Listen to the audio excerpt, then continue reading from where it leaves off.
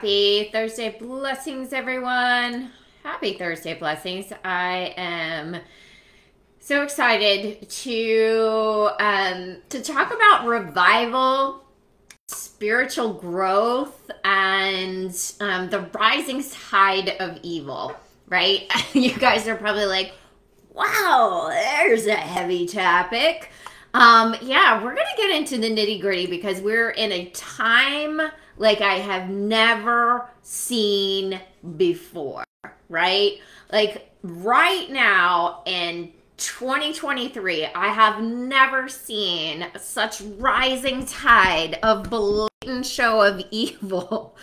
And I want, but I know that we're also seeing um, also some revival.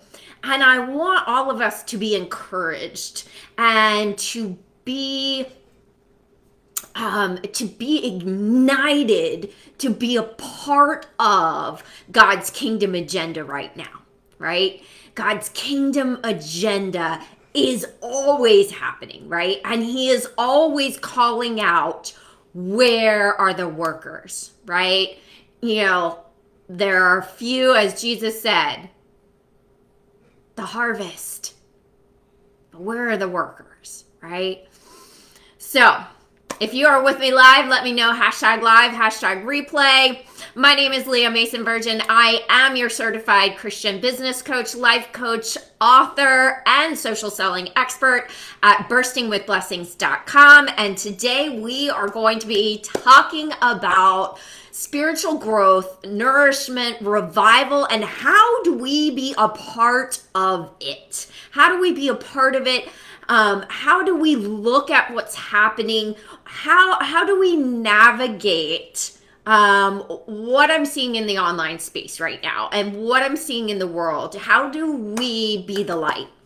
And I'm not going to have all the answers. Oh, you guys are probably like, oh my God, then why is she even going live? No, because I'm not here to tell you what the Holy Spirit wants you to do. Okay? I don't know what the Holy Spirit wants you to do.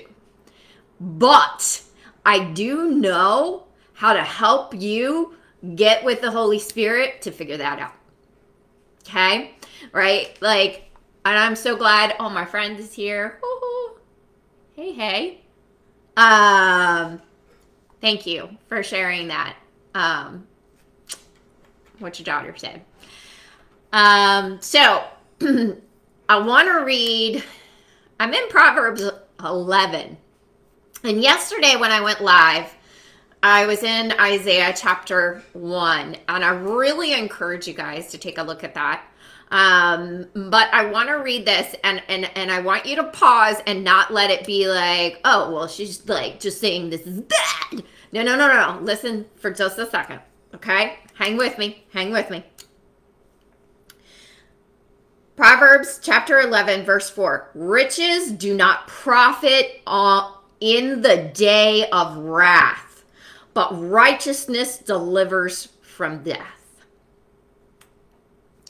What we're seeing right now more than ever is people in the world who are using demonic forces um, to obtain wealth, right? The world is a broken, sinful place, right? We know that the world clamors for fleshly riches, right? The world is constantly talking to us about wealth and riches in a fleshly sense, right? And God never said that being rich is evil or bad. So, if you grew up in the American Christian church, and some of the churches that I did, it was like poverty mentality is awesome. Um, if you're rich, you're evil. Okay. What we know is that it is the pursuit of riches outside of God's will with evil, like evil intent, sinful, don't care how they're going to get it. Right? That is what this world is doing right now. Our governments and, you know, all these like Hollywood actresses and actors are literally admitting that when they marry with demonic forces, that they get more money. And what God's word is saying in Isaiah and here in Proverbs is how are you getting your riches? He, he verse 18. The wicked earns deceptive wages. Okay? Deceptive wages. But if you look down here, okay? The generous man will prosper, right? He who diligent blessings will be on the head of him who sells. Okay? So let's let's make sure we're on the same page. I want you to sell. I want you to be a person who sells the things that God has gifted you with. Okay? So as long as we got that two things going, I want you to prosper in all respects. I want you to flourish. The righteous will flourish like the green leaf. Okay? And even Paul, he was like, you you better believe that those that serve you deserve their compensation, right? So, here's the thing. What are we seeing right now in this world?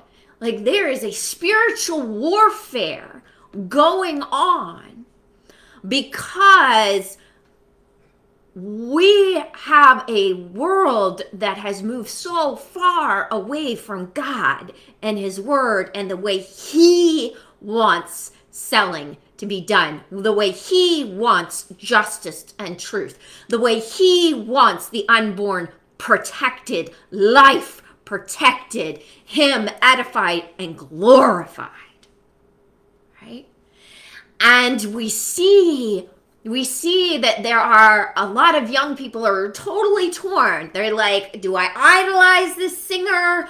I'm so empty. We've got, you know, we've got children that are contemplating suicide on a mass level. Like, we have never seen anything like this. Well, except for I don't know what happened before Noah's time. Not even going to speculate, right? We know it was bad, bad, bad then. right? But we're talking about right now, what is happening right now. And when when we start talking about revival and what does that look like, and how do we be a part of that? And how do we navigate spiritual growth, right? We have these children that are so in need. They're so empty and starving of spiritual nourishment and of edifying, glorifying, and connecting with their creator, their Abba Father, right? So what what is missing in our social sphere? What is missing is the word of God is calling out. And I'm not saying that you have to go around on the you know side of the street and like condemn things and i mean unless the holy spirit is literally calling you to be you know, praying for people on the side of the road. That can be a thing. But I want to encourage us like, what? Now is the time. You know, God said, Who can I send? And I think it was Jeremiah said, Send me, Lord. Send me. And we want to hear, Well done, good and faithful servant when we kneel before Jesus Christ. But the tide and the pull of this world and the spiritual forces make us feel like we're A, not doing enough if you are doing something. B, it feels so hard to take time for God's word and for prayer and and and you know and to, to you know pray over our kids and our spouse and random people and shine the light and we're all like we're all exhausted so how do we nurture ourselves and spiritually grow? Well, first off, grace. Okay, first off, grace. In Jesus' name, grace. I know I'm hopping all around a little bit, but I'm going to hop back to two decades ago. I went to Messiah College, which is Messiah University now. And they would have these praise and worship nights on Wednesday nights. And I was so broken. I was so I was such a traumatized, broken human being.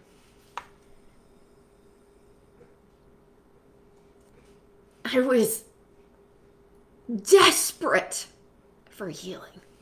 I was desperate to feel loved because I did not know my identity in Jesus Christ.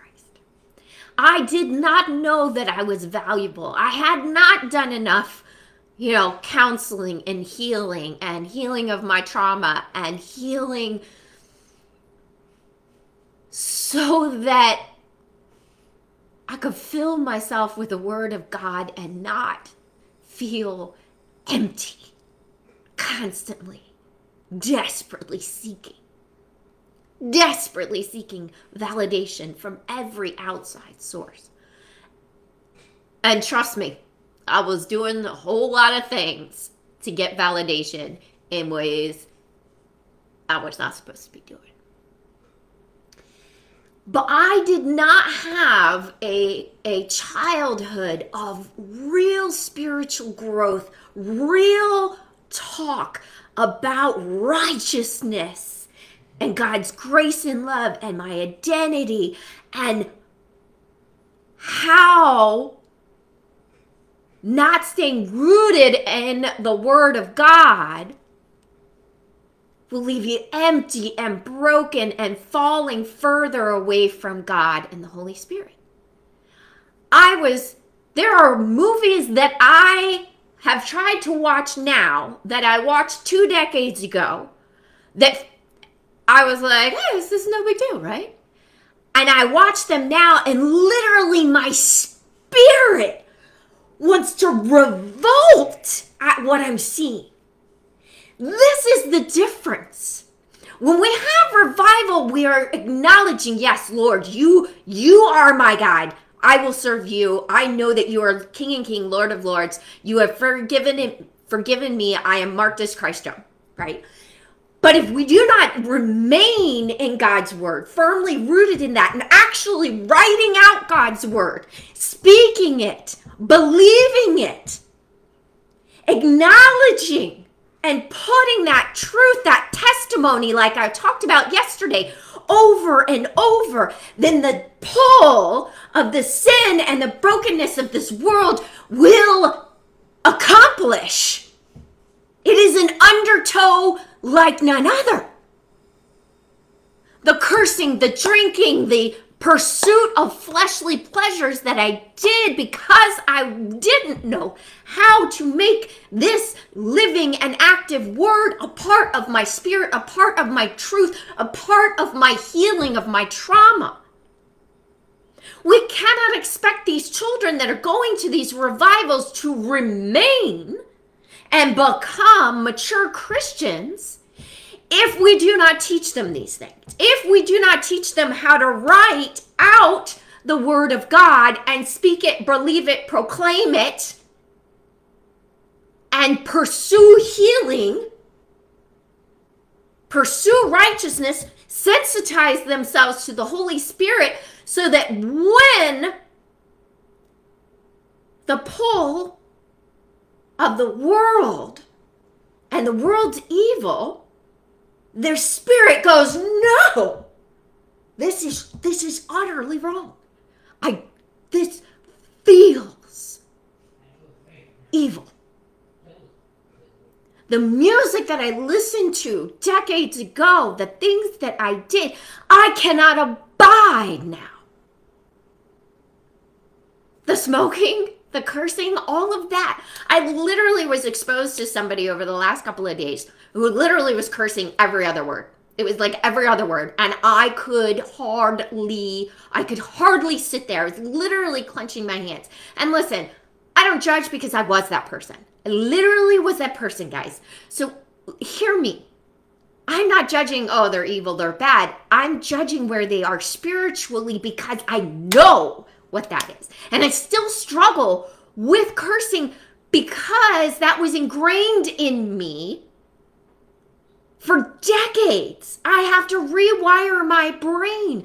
I am sensitizing myself over and over. So we cannot feel like, oh my God, you know, I'm mad at myself or I'm mad at the world. Like, you know, I'm mad at, you know, these kids that are cursing these rap songs, you know, and and going to these movies and, you know, these parents that are taking their kids to like drag queen shows that are utterly evil. Like we need massive revival and spiritual growth and the word of God spoken, believed, and repeated every day, no matter our feelings, no matter our thoughts, grapple with the Holy Spirit every day, because then we will just fall away into what Satan wants. We cannot be surprised that a mom would plunk her toddler down. It's horrifying. It's horrifying because to me, I'm like, how, how, how could you be so spiritually devoid that you can take your 12 year old to basically a strip show. Right? But that's where we are in our world. And yes, I hear people saying it's the end times. Look at, you know, could be. Could be.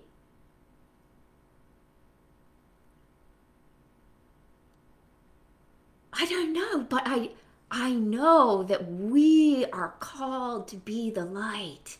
And some of us are called to be very very forward facing. Right? What does that look like for you? Right? I mean, you guys, if you've seen my work, you know what that looks like for me right now. But I know that we have to call it out somehow. We need to be a part of encouraging people to dig deep into scripture, to write it, to speak it, to believe it, to be it.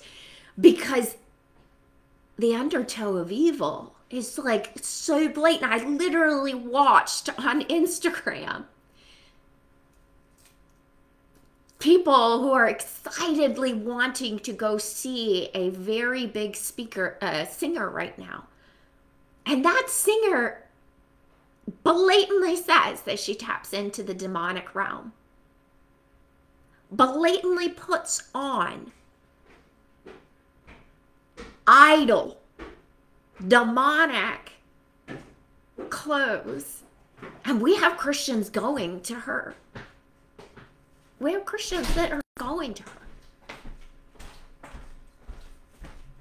And raising up a storm, whatever demons are dancing on her stage.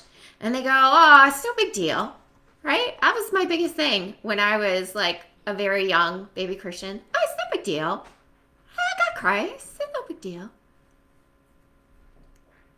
But we have no idea what spiritual forces will bring home with us. We have no idea the spiritual impact. We are supposed to be standing apart. A city on the hill, shining the light. Because the darkness is trying to rise.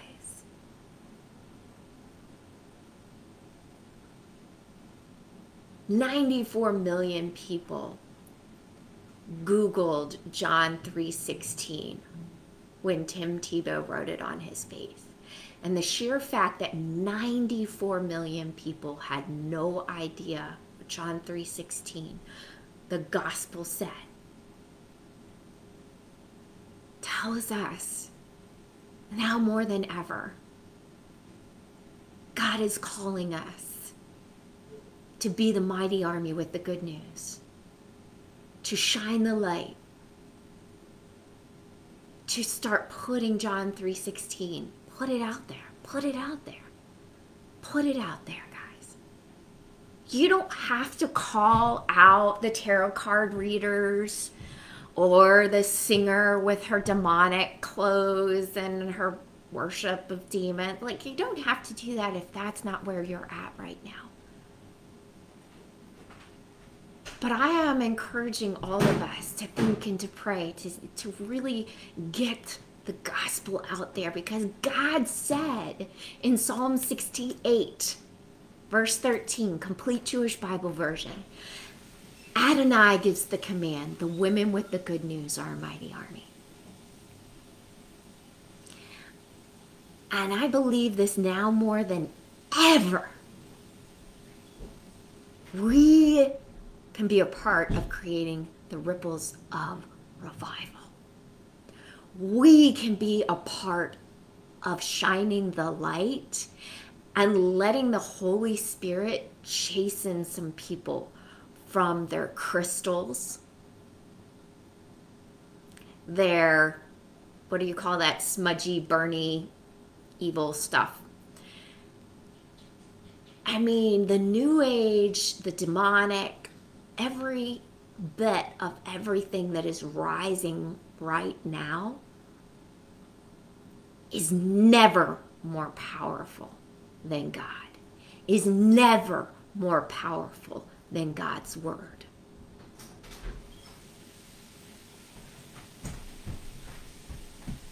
And I know, I know that God wants us to prosper in all respects.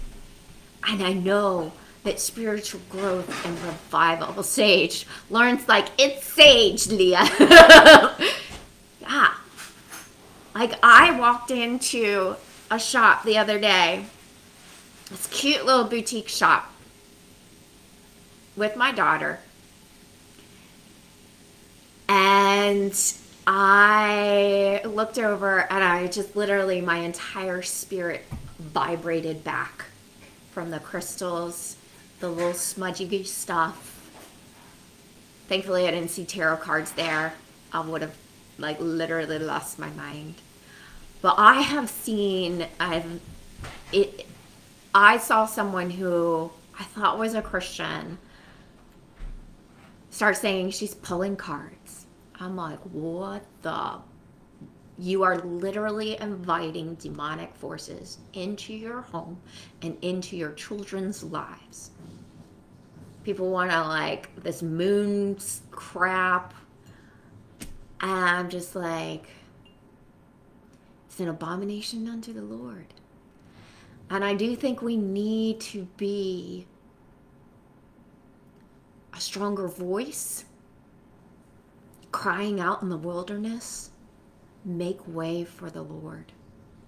Make way for the Lord because he's coming back. And I often don't really like talking about spiritual warfare, but I think now more than ever, people are feeling it, they're seeing it, and I really think that American Christian women are finally on the precipice of ready to talk about spiritual warfare. I would have said 10 years ago that the mass majority of Christian women would be, oh, well, that's not really a thing. Uh, I don't want to talk about that. Uh, this is uncomfortable. Um, and that was me, you know, 10 and a half years ago before I really came to Christ in a very practical, discernible way, not just saved. I finally got it. I'm still getting it. Don't worry, ladies. I didn't just proclaim. I, I've God has perfected me.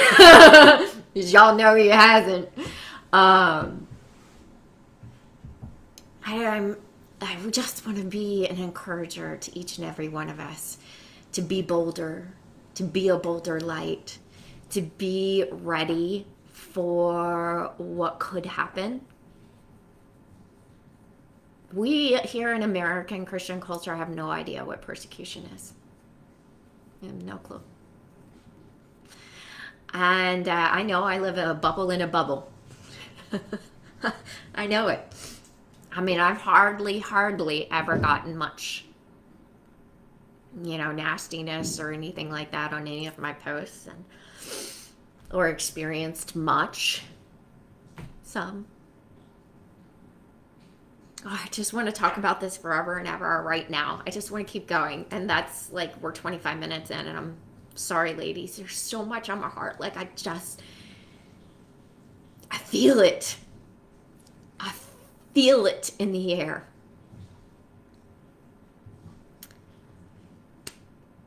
And I, and I wish that I had started this journey two decades ago. Started writing about God two decades ago when He had called me. I said no, I was disobedient. I was very disobedient um, to God for a long, long time. And I just want to encourage you guys no matter what you see in the online space, no matter if you get discouraged, other people's obedience does not negate your obedience to God's calling on your life. I have to remind myself like that when I look at other people's profiles and I'm like, oh, they have like 100,000 followers. Who cares? We are to be obedient to do that which God has called us to do, no matter the outcomes. The outcome is in His hands. The outcomes of whatever is happening in that revival at Asbury College or whatever they're feeling there, it is simply our calling to shine the light, keep having the conversation, keep posting, keep praying, stay vigilant. Literally on my biblical vision board, I have an area where I pray for the persecuted Christians of this world and to all the spokespeople who speak for God in accordance with his word. And I pray for revival every day that is definitely a small piece that we can do to be a part of revival, to be a part of encouraging spiritual growth, to be a part of um, encouraging people to really think um, when they feel like they should, you know, start dabbling in new age stuff or this manifestation junk or tarot cards. Like, we're to be the light, to keep encouraging, right? And we are also to have the real and raw conversations about our own spiritual journey.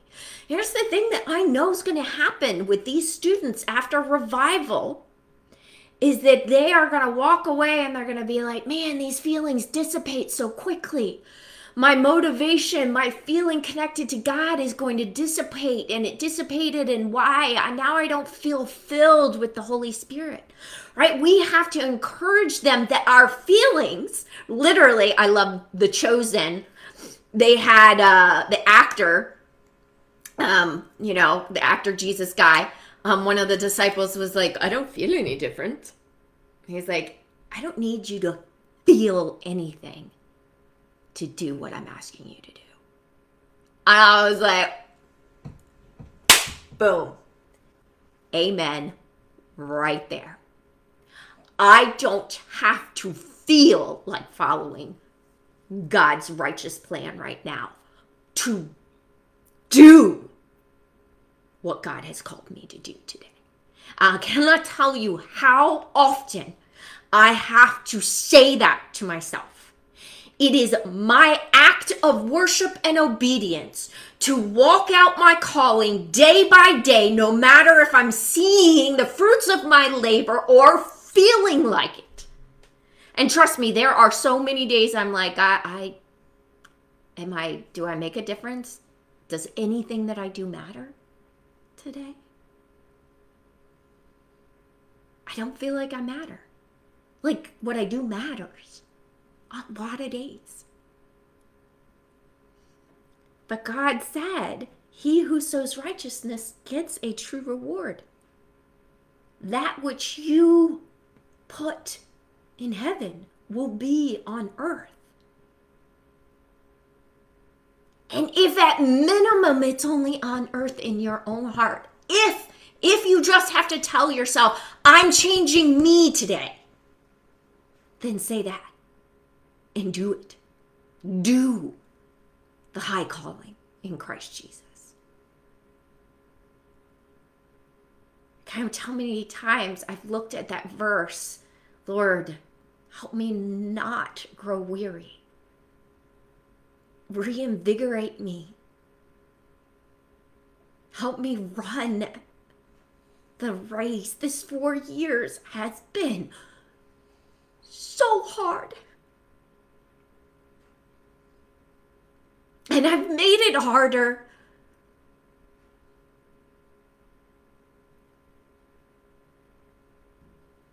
By struggling with my calling, my faith, my ability to persevere and endure. And you guys know, hashtag real and raw, I never lie to you guys. I have never said it is so easy to build a business in the online space. Just give yourself six months. TikTok. Now you got 10K months.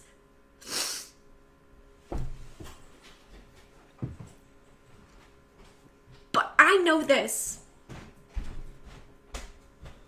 I will kneel before him and I'll say, Lord, I screwed up a ton. But I did keep striving to serve you, edify you, and be a part of the change that this world so desperately needs.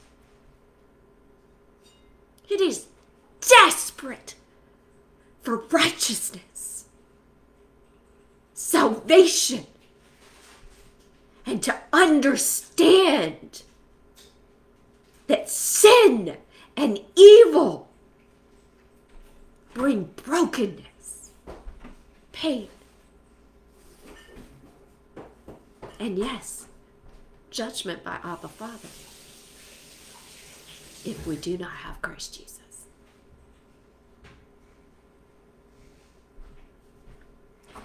Let's pray.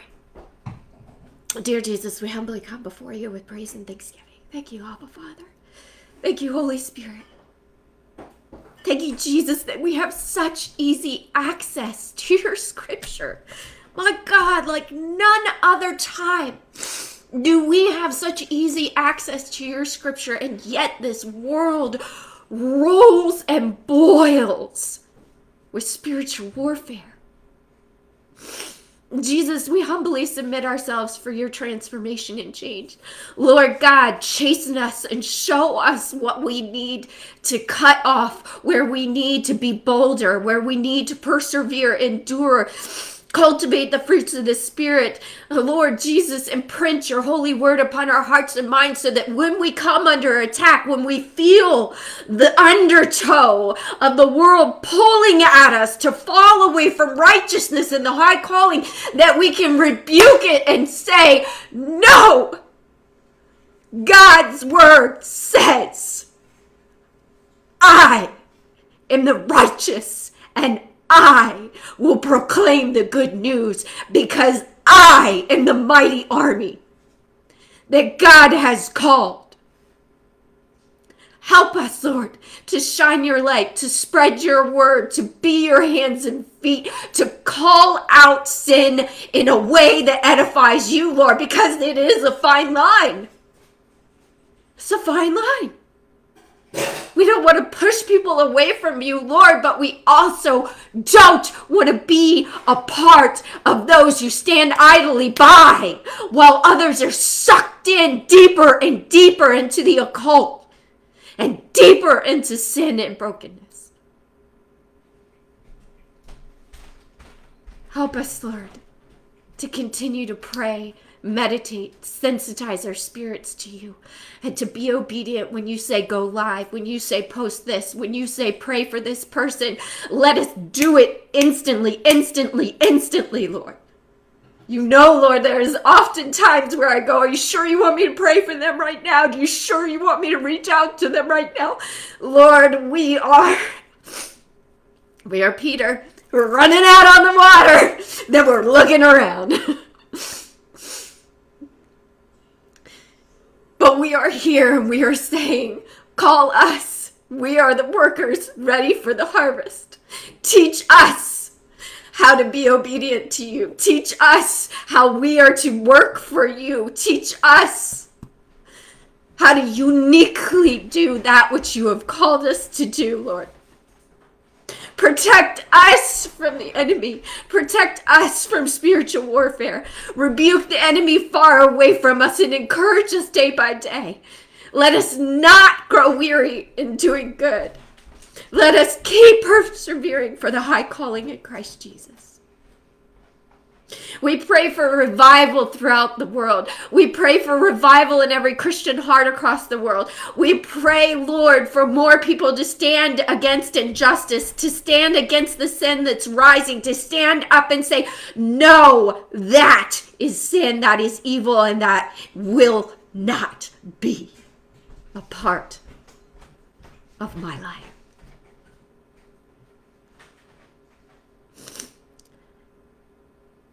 Thank you, Holy Spirit. I pray for each and every one of us, Lord.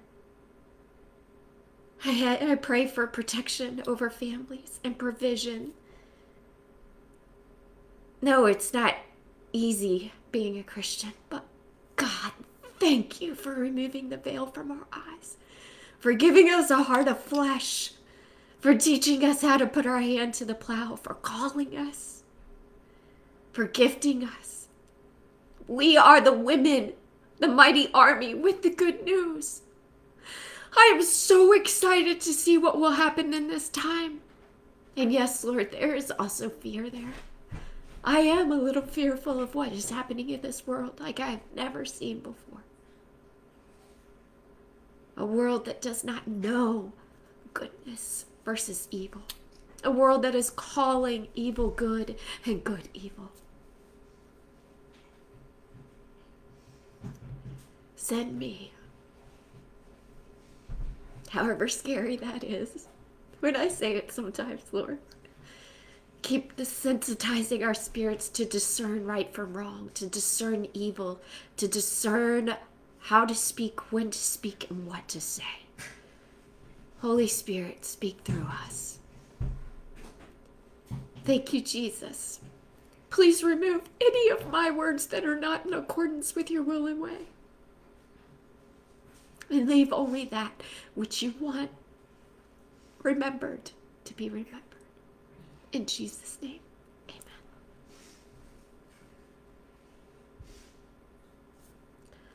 Woo! Ladies, we knew.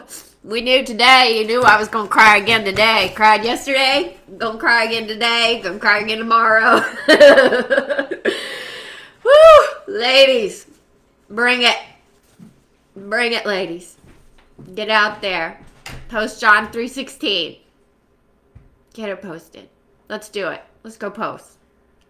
Or post whatever God is calling you to. I, I, I just, I just want to speak the name of Jesus over everything and everyone until healing, revival, salvation spreads across the earth. That all should come to know him, and that none should perish.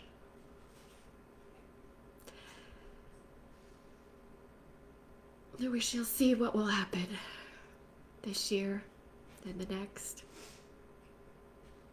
And I am delighted that I get the privilege and the honor of praying with you guys, sharing time, encouraging in you the high calling in Christ Jesus. Whatever He is calling you to write, speak, do, create with Him, gosh, I'm so excited to see what you guys create this year. So excited to hear what God does in your lives. And I will see you tomorrow. Amen, amen.